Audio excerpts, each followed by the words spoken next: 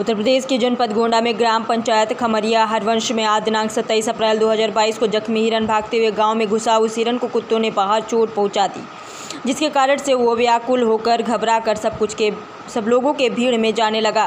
कुत्ते नोच रहे हैं, उसे छुटकारा मिल सके। भागते हुए गाँव में राजेंद्र तिवारी के घर के पास आया तो सब लोग मिलकर हिरन को बचाया और दवा भी कराया। पुलिस को भी सूचना दी। मौके पर पूर्व प्रधान प्रतिनिधि रामचरित मौर्य ने वन विभाग को सूचना दी मौके पर सालपुर चौकी इंचार्ज भी पहुँचे।